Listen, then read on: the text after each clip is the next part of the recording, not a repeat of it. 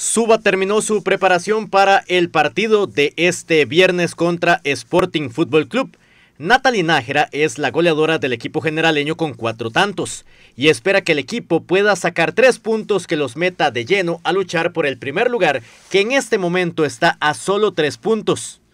Pues bien, la verdad, los entrenamientos han, estado fuertecillos el, el lunes, este, igual en los que llevamos de la semana han estado súper bien los entrenamientos y esperamos dar un gran partido el, viernes contra Sporting.